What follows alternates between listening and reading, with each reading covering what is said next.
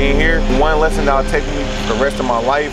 No matter what happens and no matter in, in what circumstances, control what you can control. The 2021 NFL Draft, the Washington football team has chosen Darrick.